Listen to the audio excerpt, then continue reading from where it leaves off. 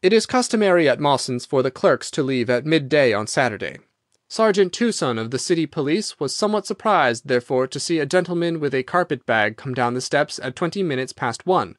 His suspicions being aroused, the sergeant followed the man, and with the aid of Constable Pollock succeeded, after a most desperate resistance, in arresting him. It was at once clear that a daring and gigantic robbery had been committed. Nearly a hundred thousand pounds worth of American railway bonds, with a large amount of scrip in mines and other companies, was discovered in the bag.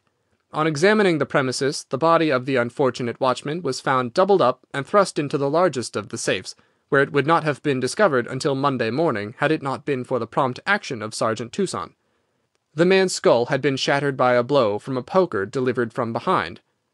There could be no doubt that Beddington had obtained entrance by pretending that he had left something behind him, and having murdered the watchman, rapidly rifled the large safe, and then made off with his booty.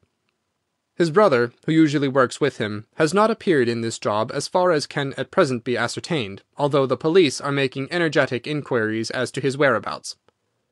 "Well, we may save the police some little trouble in that direction," said Holmes, glancing at the haggard figure huddled up by the window. "Human nature is a strange mixture, Watson. You see that even a villain and murderer can inspire such affection that his brother turns to suicide when he learns that his neck is forfeited.